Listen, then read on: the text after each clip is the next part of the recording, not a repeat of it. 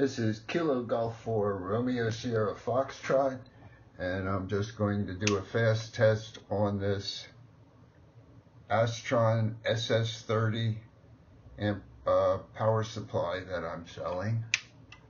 I turned it on. Okay, I couldn't figure out how I was going to show the current draw, so I hooked it up to my good old M uh, Mark II-G, and I didn't think it would take it, but I pulled the power, I put the power on high, and uh, so the power's on high, and uh, this is the draw. It's drawing 15 on high. Going into a dummy load. So that's the way I'm showing you that this power supply is working.